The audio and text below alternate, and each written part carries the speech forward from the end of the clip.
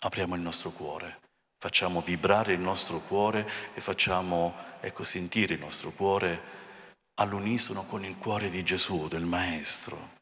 Dobbiamo far battere lo stesso nostro cuore con il cuore di Gesù fino a fondersi.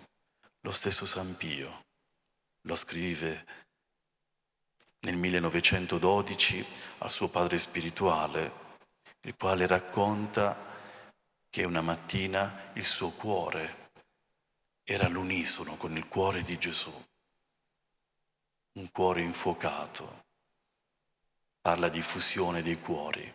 Ecco, vogliamo fondere il nostro cuore con il cuore del Maestro Gesù.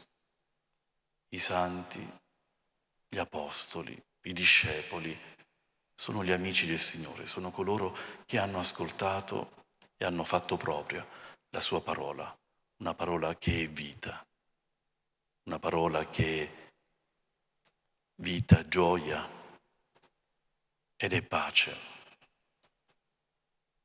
Allora, fratelli e sorelle, vogliamo veramente, ecco, in questa celebrazione ringraziare e rendere lode al Signore perché ci ha donato dei pastori, ci ha donato degli apostoli veri, coraggiosi, che hanno annunciato e testimoniato anche con il sangue la parola del Signore.